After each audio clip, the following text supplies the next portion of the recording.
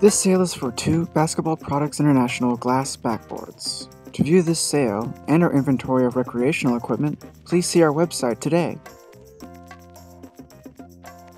Liquidity Services provides buyers and sellers with the world's most transparent and innovative online marketplaces for surplus assets.